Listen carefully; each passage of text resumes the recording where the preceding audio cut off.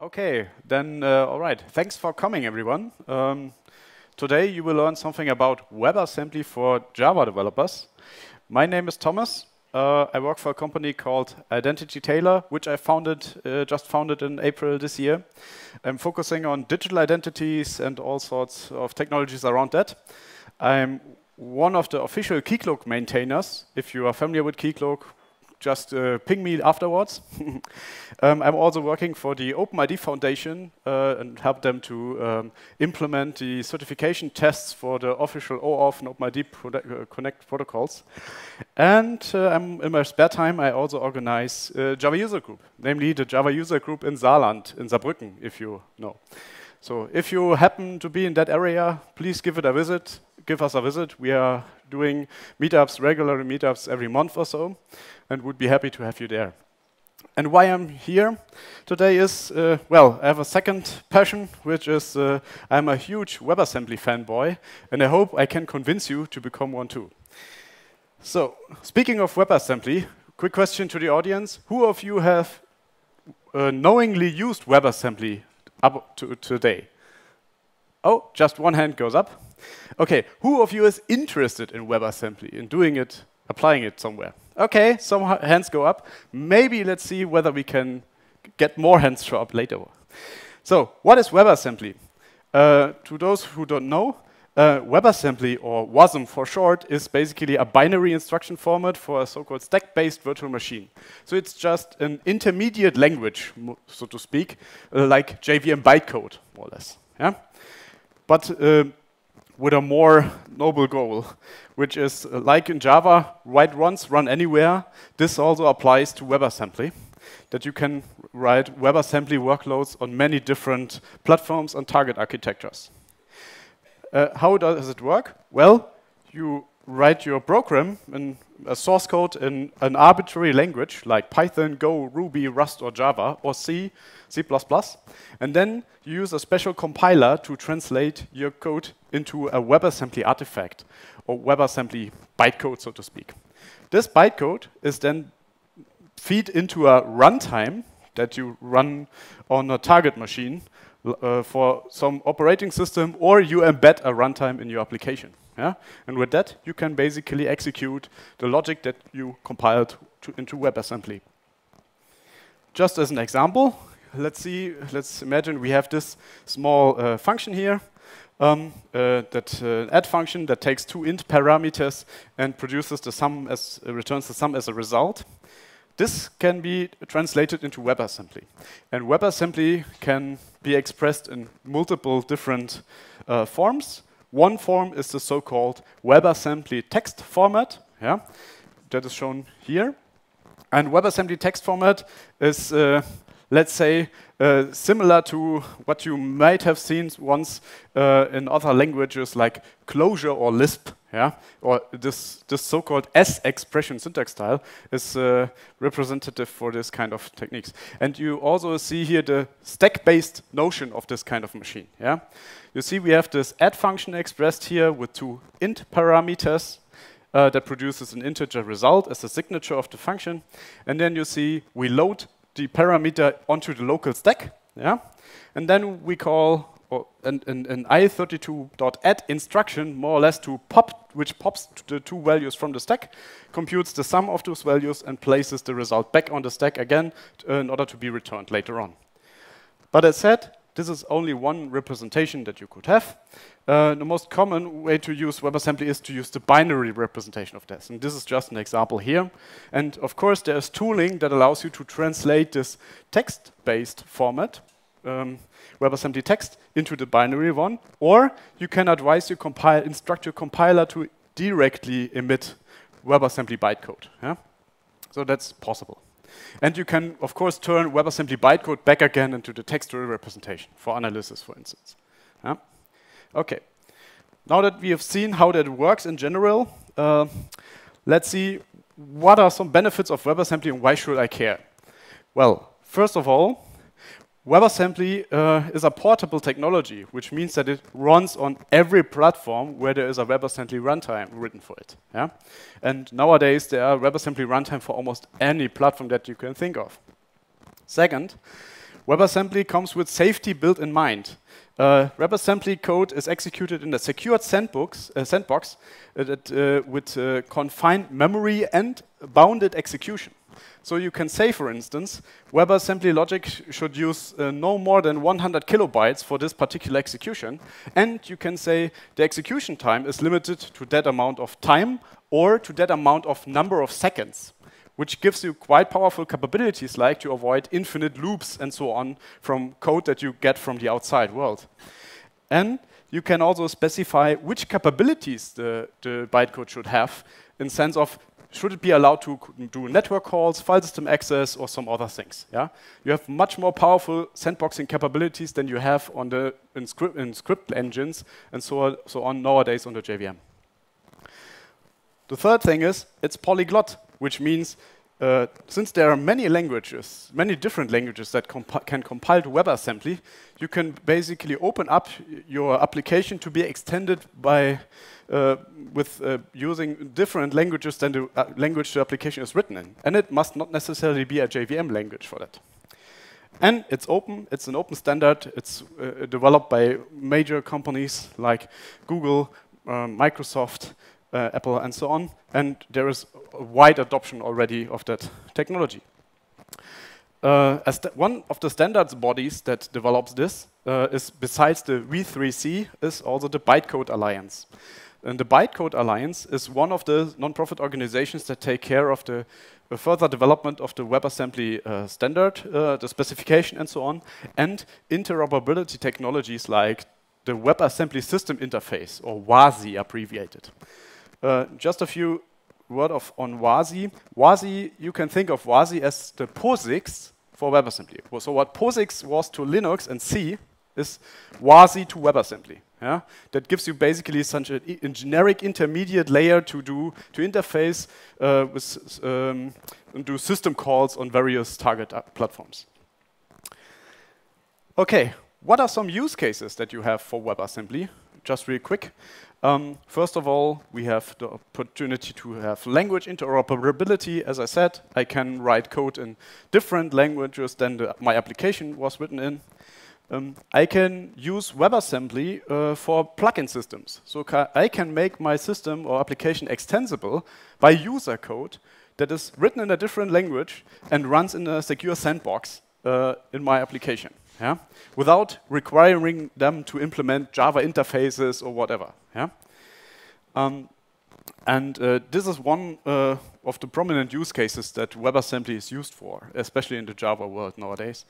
Um, you can also use this uh, in containerization, containerization contexts.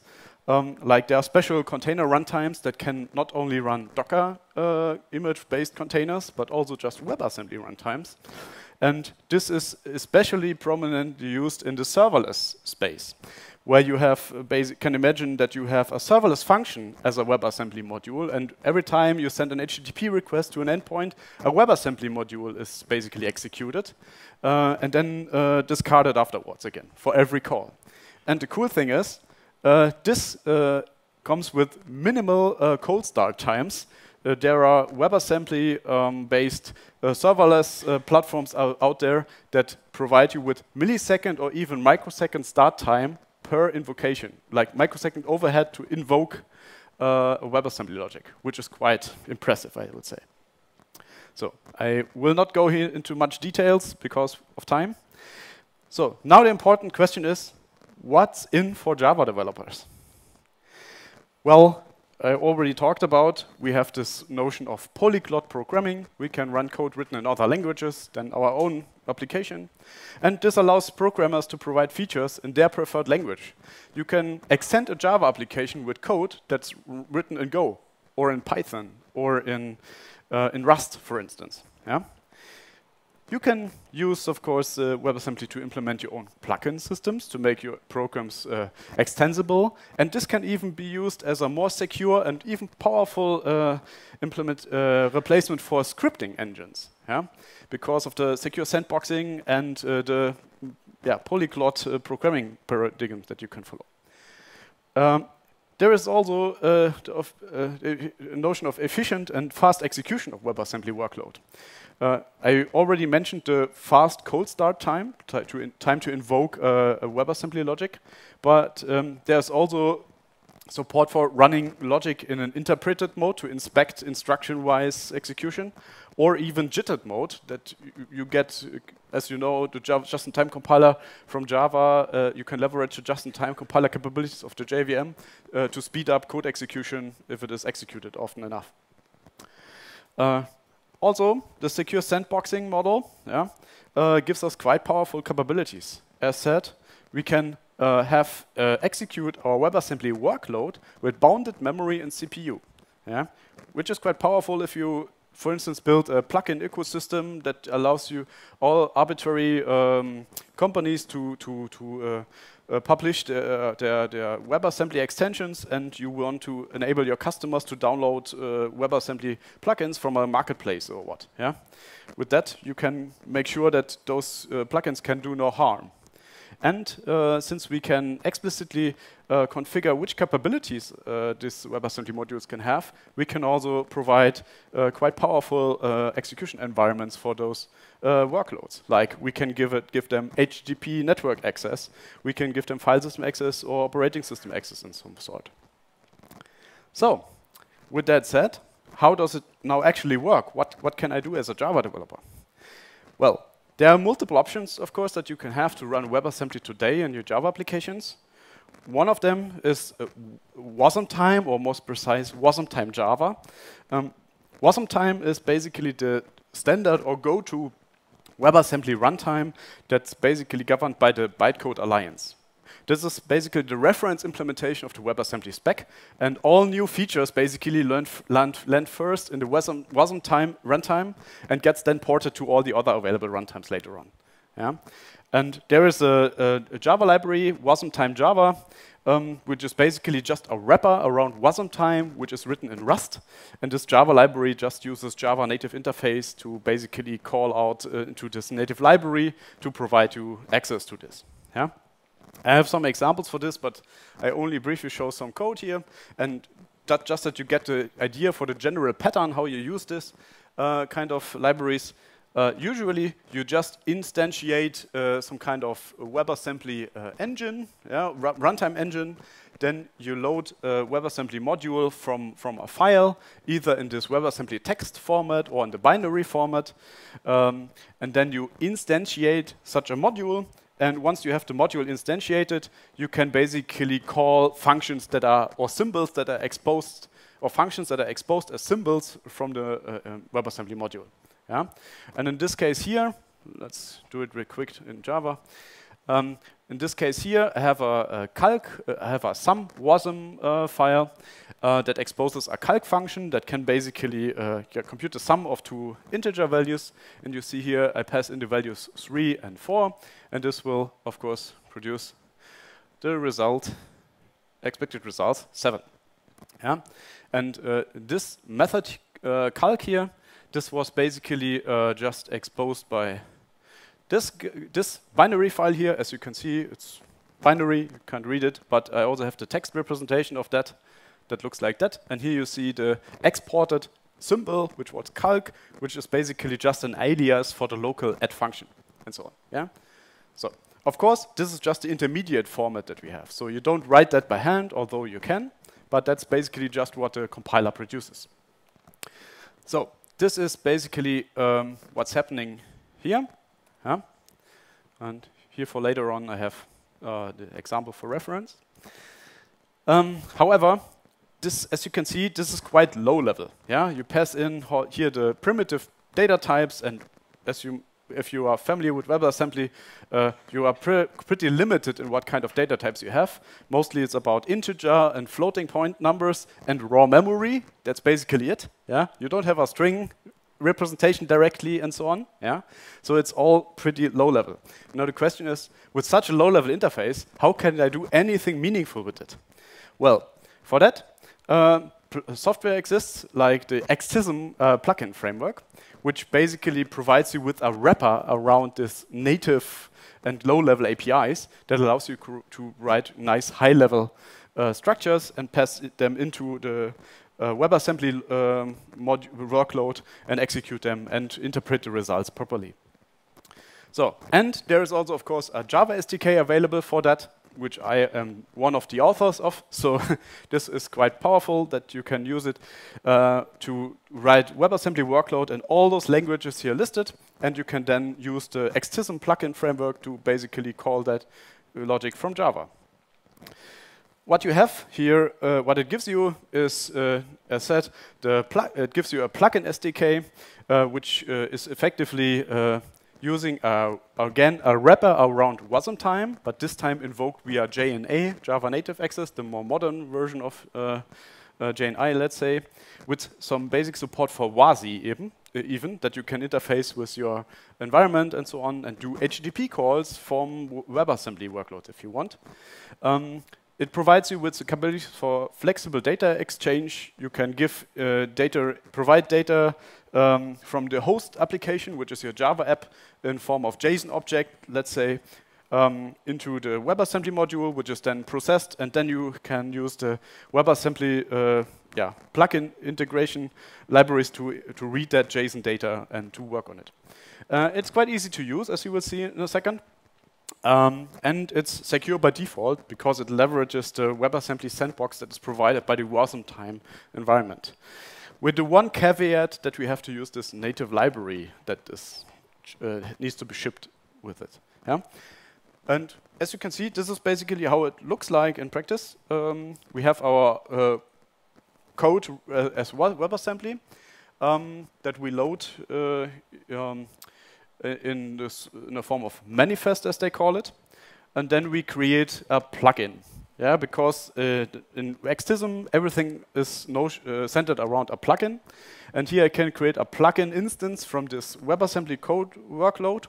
And then uh, I can basically say plugin call this exported function with this given input. Yeah?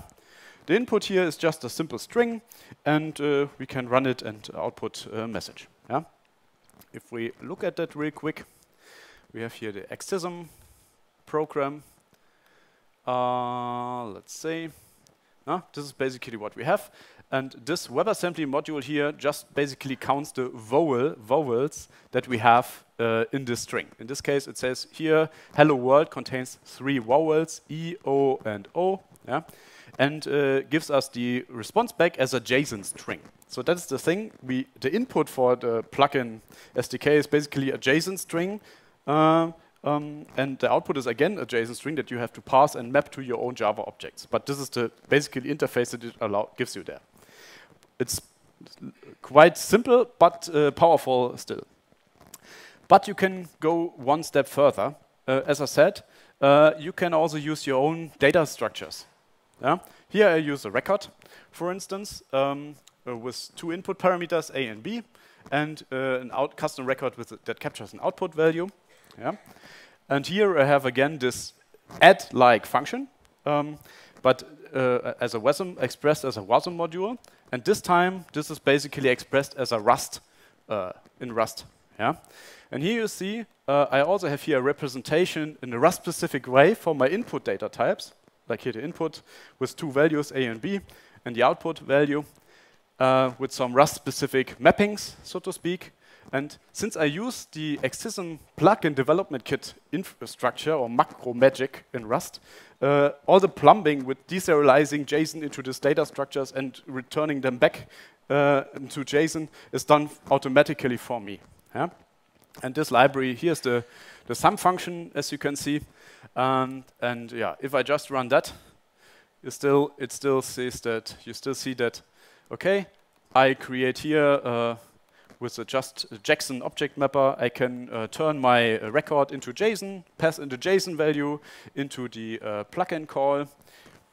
It does its thing and returns a JSON object again, uh, a JSON string again, which I read then uh, into my custom cars and then I can work on it as I am used to do with general Java data structures. Yeah, That's what I get with the Extism plugin framework.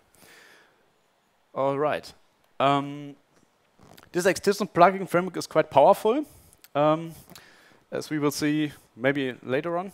Um, but uh, the one downside of the Extism plugin framework is that it is still a wrapper around this native library, Wasmtime, right? Um, but how cool would it be if there were a Java library that would allow you to execute WebAssembly workload directly on the JVM? And guess what? There is. This is the Chicory runtime, which is a pure JVM native Java WebAssembly runtime um, that's been around for, let's say, a year or so in development. And it's initiated by the folks behind the Extism project because they also thought that, hmm, how cool would it be if we could get rid of this native library dependency? Um, this was inspired by other projects, like the wazero uh, uh, project, for instance. wazero is uh, a zero dependency impl implementation of a WebAssembly runtime in Go. Yeah? And um, before that, there were many attempts to bring WebAssembly to the JVM, and uh, it turned out that implementing the WebAssembly specification is quite hard. And the thing is, uh, the project Chicory uh, came together by many WASM and JVM enthusiasts uh, for joining forces and with a, with a combined goal to provide the implementation for the standard WebAssembly runtime. And I'm happy to be also part of that little team. So now you might ask, Chicory, uh, a pure Java WASM runtime, why? Well, I already mentioned that uh, yeah, having to ship a native WebAssembly runtimes is might be not good a good idea for many uh, use cases. Uh, although it's highly performant, uh, uh it's still uh, platform specific. So you have to ship the right library for every platform that you target. And this might be a burden for some. And a JVM-based language native runtime can do all sorts of other magic things. It can leverage the JVM JIT. It, it requires no native libraries. It can still provide the sandbox within the JVM boundary. And it's much easier to interface with. And uh, just as a small example, this is what code with Chicory looks like. As you can see, as with the previously shown pattern, you can just instantiate uh, a module uh, where you load your WebAssembly workload. Then you uh, fetch one of the exported symbols. And then you uh, yeah, construct your structures as before, uh, construct your input, and uh, call the add function with that, and uh, uh, uh, extract or process the output. And there you go. Yeah. Just that you see that this works. Uh, let's see that. Yeah, if I just run that, and this requires no native library, you can already execute WebAssembly workload on the JVM. So far, so good. But this is just a primitive example, right? What can we do else? Well, uh, WebAssembly is quite powerful, uh, or Chicory is quite powerful, because we can also call, uh, call Java methods from WebAssembly modules. Yeah? Um, which is quite nice because now um, we can have generic um, WebAssembly module that does a certain thing and have it call out or call back into a host environment again to process some context-specific data and so on that we don't want to provide or expose in the WebAssembly workload, yeah? which gives you quite powerful execution capabilities. Um, I'm going to uh, skip a demo for that. But the thing is, with that, what I've shown you real quick, uh, what's the point? Well, uh, why so low level still? Well, the, the, the, current approach of the project is to provide the capability first and convenience later. Later on, once we have all the basic and primitives implemented, we will also provide you with some high-level APIs like you are used to from the Spring uh, ecosystem and so on. And uh, uh you will see that um, the WebAssembly ecosystem, if you work with that a little bit, you see that it is evolving quite quickly. There are a lot of specifications around that that uh, gets regularly updated, and uh, it's sometimes really hard to keep track on what's what's working, uh, what's going on. Um, yeah, but still, there are some high-level APIs already on the horizon, and it's quite powerful already. And I hope I can convince you with that. Question is, as it is always, can it run Doom? And the answer is yes, of course. Um, let me show you Chicory running Doom uh, implemented in WebAssembly. Here I have the Doom WASM file. Uh, let me quickly open that. Open in terminal. And as said, this is just one, one class, Doom class, with a main method that runs, uh, that loads the WebAssembly module, uh, loads here Doom wasm, yeah, with zero native dependencies, nothing. And uh, if I now do this, you see it runs Doom. And not only the menu, no, no, it really works. And by the way, this is currently the, the raw speed on my machine, and this is just running in interpreter mode. Guess what would we be able to achieve when, it, when we finally reach the JIT compilation support? Yeah? Then you can run it in nearly native speed, and with that, uh, you can see and imagine that you can do quite powerful stuff already. So you can use it to, to run uh, code implemented in C, for instance, uh, in your JVM without uh, yeah, requiring a native library and so on. Uh, yeah, so you see it works. okay, that was the Doom thing. And uh, if you want to try it out yourself, um, um, there is an easy way to do that. Um, you can, for instance, just run, where is it? Where did I place it? Shikuridem or Shikuridum. Um, um, you can, if you have uh, S, uh, JBang installed, JBang is basically a command line launcher for all arbitrary Java tools and so on. When you have JBang installed, you can basically launch the demo with one line, like so, and it will automatically download and execute Doom, which is quite cool. Um, with that said, my summary is for that. Uh, um, WebAssembly support is on the JVM already here, and it's here to stay. Um, there are many powerful integration options available already, and uh, JVM native implementations are on the rise. We are hardly, we are strongly working towards that goal. Um, yeah, better developer experience will be a game changer once we have this high-level APIs that all you can easily use WebAssembly workload uh, as you are used to from other uh, APIs like Quarkus or, or frameworks like Quarkus or Spring. And I hope I could convince you that WebAssembly has potential beyond the browser with that. And with that, I have let me know say thank you. And one last question: Who of you is now uh, more more um, willing to inspect what WebAssembly can do in the JVM than before? Raise your hand. Okay, a few more hands go up than before. Then thank you very much and enjoy your conference.